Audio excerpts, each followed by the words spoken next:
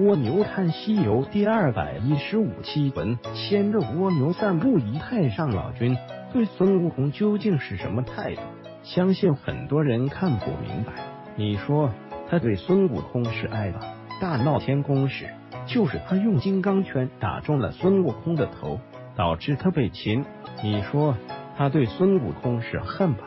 可为何给猴子打造金箍棒，并且在孙悟空大闹天宫时不收回？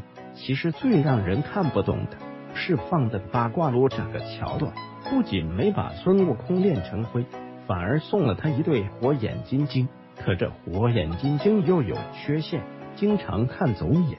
说到底还是一种眼病。太上老君究竟是孙悟空的朋友还是敌人？二。我们回头来刨头思路，孙悟空被二郎神等七兄弟擒住后，用钩刀勾了琵琶骨，使之不能变化，然后压到斩妖台下，绑在降妖柱上，枪刺剑劈，火烧雷打，始终不能伤其分毫。此时太上老君上前奏道：“那猴吃了蟠桃，饮了御酒，又到了仙丹，我那五湖丹有生有熟。”被他都吃在肚里，运用三昧火断成一块，所以浑作金刚之躯，极不能伤。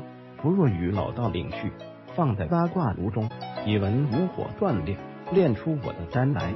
他身自为灰烬矣。玉帝闻言，即交六丁六甲将他解下，赋予老君。这话听起来没毛病，很有道理，似乎太上老君一心为玉帝分忧。可是。练的过程就有问题了。原来这八卦炉除了乾、坎、艮、震、巽、离、坤对八卦宫位外，还有一个巽宫位。这巽位只有风没有火，所以孙悟空躲在下面不仅没事，反而练就了火眼金睛。问题来了，作为八卦炉的主人，道教之祖太上老君不可能不知道巽宫位烧不死人。可他为何偷偷给孙悟空留下这一生门呢？三，我们再回头来看看孙悟空是如何偷绕老君仙丹的。在原著第五回，孙悟空蟠桃宴上偷了酒和美食，一下喝醉了。他摇摇晃晃，本来要回大圣府，却阴差阳错来到了三十三重天兜率宫太上老君住处。按理说，像这么大的领导。至少门口有两个武警站岗，即使没有站岗的，里面肯定也有几个美女接待。但是孙悟空闯进去后，却看到一个奇怪的现象：宫中空无一人，但见丹灶之旁炉中有火，炉左右安放着五个葫芦，葫芦里都是炼就的金丹。金丹是什么玩意儿？天宫高级补品，只有玉帝、王母等高级领导才能享用的。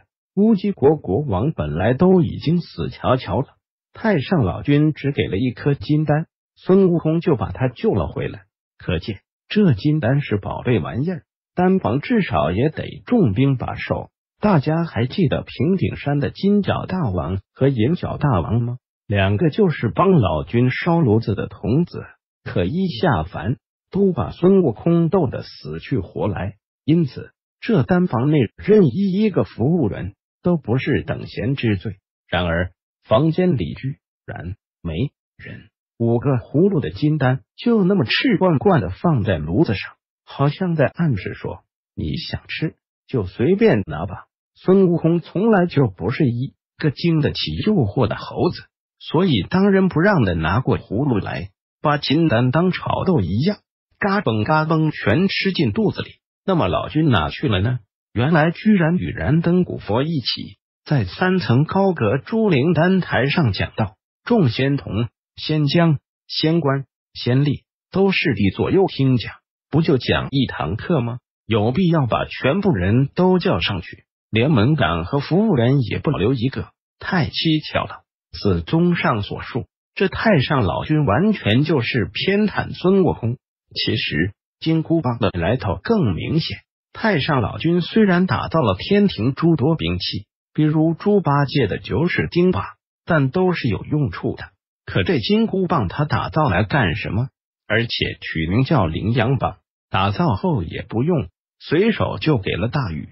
大禹也感觉没啥用，就把它当着试水的探子。试完水后，随手就扔进了东海。其实东海龙王也不想要这破烂玩意儿，但苦于搬不动，就当着一个垃圾立在那里。可是孙悟空一去，这金箍棒就闪闪发光，而且自动变小变短，躺在孙悟空的身边。这不是很明显，太上老君就是为孙悟空打造的吗？而且还在里面加了自动识别功能，所以从头到尾，太上老君都是帮助孙悟空的。可能有人会说，既然太上老君一直帮孙悟空，可为何要用金刚圈把孙悟空打翻在地，让二郎神等人把他抓住呢？这里面有个背景，原来观音准备出手了。还准备将净瓶扔下去。观音的净瓶乃是大杀器，收红孩儿那张，大家应该记得它的威力，可以装五湖四海的水，连悟空都拿不动。试想，这一净瓶扔下去，孙悟空还有命吗？太上老君扔的金刚圈不过是把孙悟空捉住罢了。如果真要收拾他，仅这圈子就能要了他的命。青牛精下界就用这个圈子。把所有天兵天将的武器吸走了。老君说，如果青牛精把芭蕉扇偷走了，就凭着这个金刚圈，他都没办法。五太上老君为何对孙悟空这样爱护？